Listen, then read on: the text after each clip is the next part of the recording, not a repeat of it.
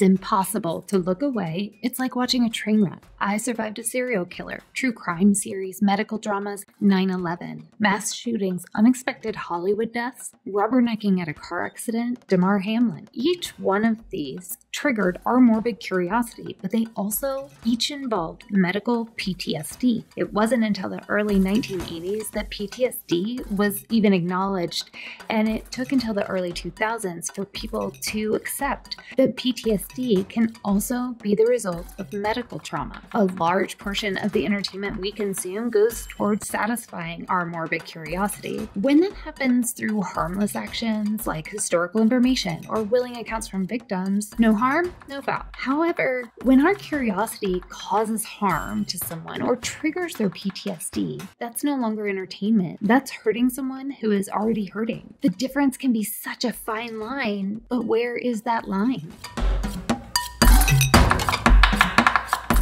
Welcome to the Cook Who Can't Eat podcast, where we're making food, family, and life a little easier, one bite at a time. Make sure you stay tuned in to the end for this episode's meal idea or recipe.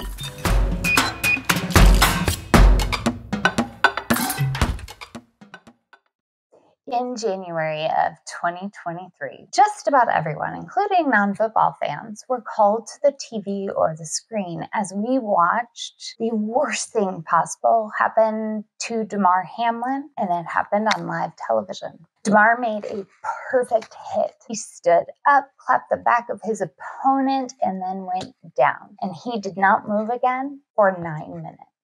We all watched in horror as this played out on live TV, but as we continued to consume it over and over and over again, it actually took one of the NFL commentators saying, I don't have anything to say about this. I don't know why we're still watching it. I don't want to comment on this. For people to start realizing, ooh, maybe we shouldn't be watching this on repeat. But why was this consumed so massively and within minutes on every media outlet you could even possibly consider?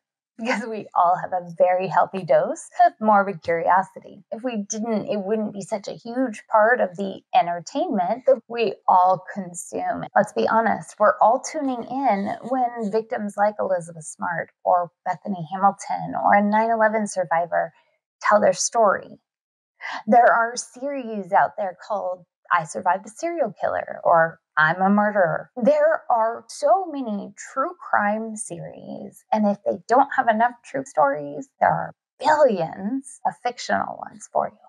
Now, why do we all have this prolific sense of morbid curiosity? Well, there's lots of theories, but it all kind of boils down to the fact that we're curious. We want to learn about something that is probably never going to happen to us. We want to understand what they went through or what that bad guy was thinking. There are some that just crave that scared or negative energy. Some feel that it's a great way to learn how to protect themselves or their family, or even what they would do if something like that happened to them. Sometimes we all need to be reminded just how fragile life can be, and that occasionally this world can be a very scary place. Most harmless versions of morbid curiosity are told after the fact, many times by the victims, a historian or documentary based off facts and court documents.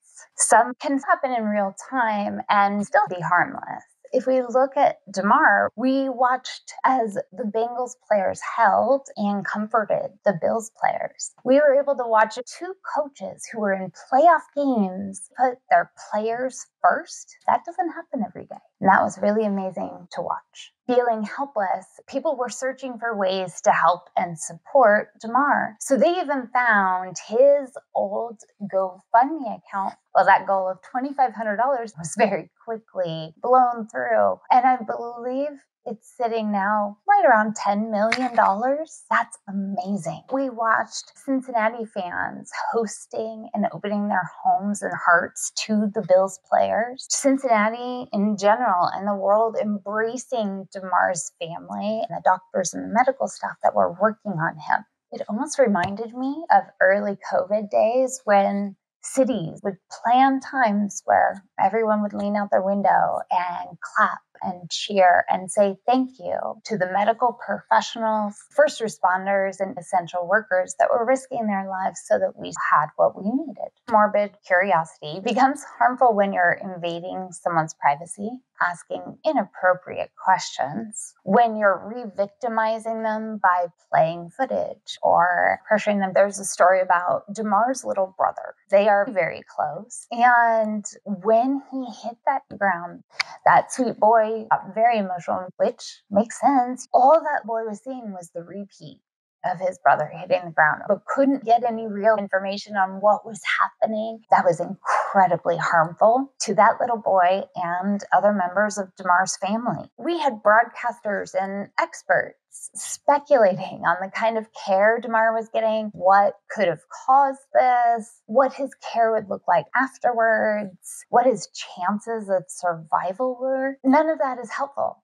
because they're not in the room, they're not treating him, they don't know the facts. So while morbid curiosity can be harmless, it can also cause a lot of harm. Most people that went through what Damar did would end up with medical PTSD typically we hear about PTSD when it comes to soldiers, first responders, victims of crimes. You don't hear much about medical PTSD, but it's very prevalent and it's very dangerous. In early 2021, I was hospitalized. During my stay, I had to go through a lot of very painful procedures. What was happening to my body was awful, and I had to be revived twice. Before I left the hospital, I asked my doctor, why don't I remember anything from X to Z? That whole area is just black. She said that what they had to do to my body and what was happening was violent and very painful. A lot of times your mind will block those things out to protect you, and that's okay. The second question I asked was I have never had any issues with blood or wounds or anything like that. Why can I not look at my biggest wound? She actually walked over, grabbed a hand, and said, Holly, because that's what tried to kill you. That is medical PTSD. It's the result of trauma experienced from a procedure, treatment, illness, hospitalization, or some combination thereof. Sufferers experience extreme terror, fear, distress, and avoidance of getting medical care, even in urgent situations. Medical community is still learning about medical PTSD. So the sufferer may not even know that that's what they have. They'll go in to get care and they're quickly labeled as anxious or hard to deal with when really they are so terrified that they don't know what to do with themselves. About three weeks after I got out of the hospital, I got sick again. I knew we had to go to the hospital. I knew it was bad. I knew we were heading down that path, but I wouldn't go. They finally convinced me to go once I got there, and they were unloading me from the car. I had a massive panic attack. It was three weeks since I left this place, lucky to be alive, and here I am again. I was weaker, sicker, and I didn't know how or what was going to happen. Unfortunately, because I did have a panic attack when I got there, they labeled me as anxious. It drastically affected my medical care and almost cost me my life. But that's a story for another day. Before today, I could have counted on one hand the number of people that knew what happened to me in the beginning of 2021. Now, Damar's situation is very different because it all played out on national TV. Most people haven't and won't experience surviving death. So it makes us curious because it's really only the dead but know what happens after we die. One of the negative curiosities that I've seen with Damar Hamlin was actually right before the Super Bowl. In the pregame, Michael Strahan was interviewing Damar. They talked about his recovery, his charity, the team, all of these wonderful things. Then he asked, Do you remember standing back up after that hit. Now, what most people probably saw was a man pausing to think. But if you've ever had medical PTSD or any kind of what you probably saw was a man that looked scared, a face tightening, rapid eye movements. And when he finally said, That's not something I want to get into, his voice was a lot different than it had been the rest of the interview. Why? Because everything that Damar has been through is a lot to wrap your head around. I don't see how he wouldn't have some kind of PTSD, and that kind of a question pushes him right into a trigger. Now, I highly doubt that Michael Strahan was trying to cause harm to Damar Hamlin because when Damar said no, Strahan didn't ask follow up questions, he didn't push, he just let it go, which was the right thing to do after asking the wrong question. If you know someone that's recently or in the last few years experienced medical trauma, they could have PTSD. Patients actually report having those feelings more than nine years after the initial incident.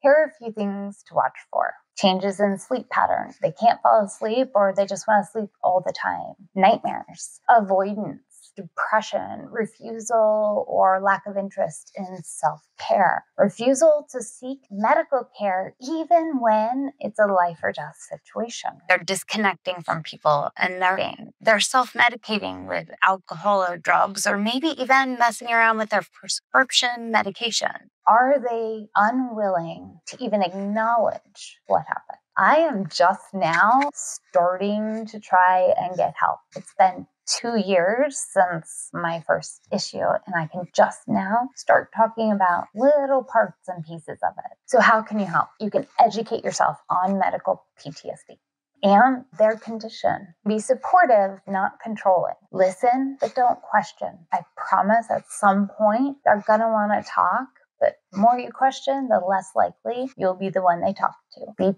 patient. Everyone is doing this in their own time because wrapping your head around all of this is one heck of a task. Don't judge and don't set a timeline. Surviving death is not something that you should get over in a certain amount of time. Everyone's different, every experience is different. Respect that. Learn their triggers. Figure out what it is in daily life that might trigger them and help them figure out how they can avoid them. Sometimes triggers are things you would never think of. The best thing you can do is find help. It is hard because there are not a lot of people who specialize in medical PTSD but they are out there. If you love someone suffering from this, help them look because it's hard to find, it's hard to get into. Now, here's a big caution you have to make sure that they're ready for it because if they're not ready, it's not going to be successful. If it took me two years, imagine how long it might take Damar.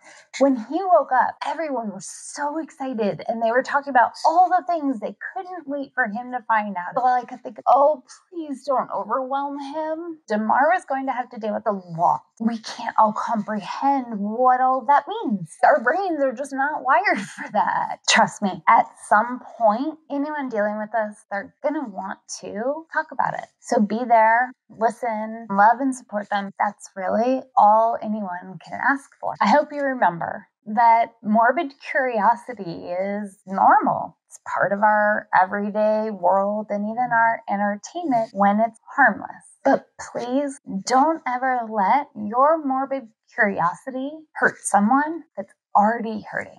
If you're suffering, reach out to family member, friend, or even me. Someone is always going to be available to listen. For more information on medical PTSD, how you can help, what to watch for, visit the blog and you'll find all your resources there. Up next, this episode's meal idea or recipe. Curious George always had the best adventures, and you could count on a banana being in his backpack no matter where he was. Tonight, grab a banana, some ice cream, the family, and your favorite toppings, and together enjoy a banana split sundae. Life always feels a little bit easier when it tastes a little sweeter. Thank you for being here, my friend. I'm so glad you were able to join me. Make sure that you subscribe on your favorite podcast platform so you don't miss our next episode, where we're going to talk about how most of us are ordering from the drive through all wrong.